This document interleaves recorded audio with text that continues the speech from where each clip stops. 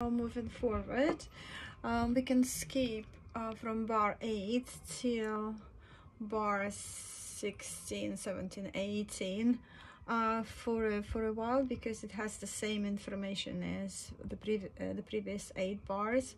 So and um, let's practice from bar number 19 only left hand. So I'm going to play that for you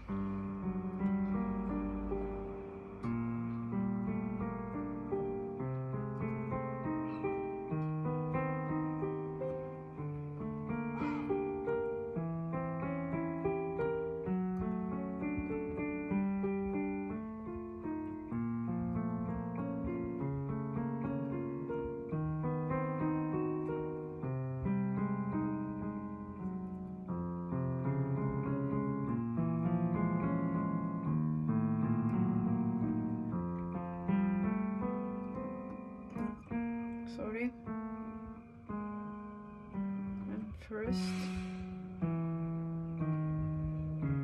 and chromatic scale.